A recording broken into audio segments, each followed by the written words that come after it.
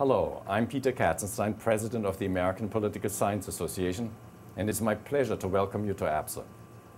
Whether you're a faculty member or student, working in an academia or the public sector, a long-time member or joining for the first time, APSA offers a wide array of benefits and a vibrant community. By maintaining your membership, you gain access to the best scholarship via three academic journals that look at political science and politics through distinct and slightly different lenses.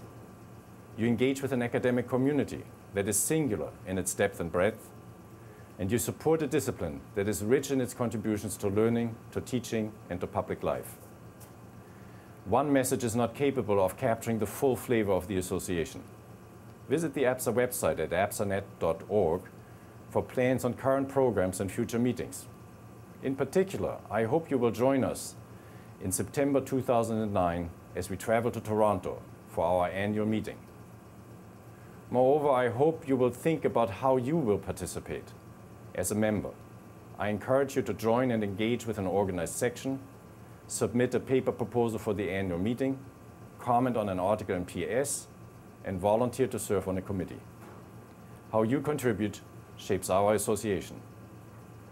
Throughout the year, I will have a chance as president to attend a variety of political science events. Please make a point to stop and introduce yourself. And this invitation goes to all members, whether it is in the hallways of a conference hotel or simply by correspondence. I would very much like to hear your views on a variety of matters that affect the association membership and about the direction of APSA and our discipline. Thank you very much.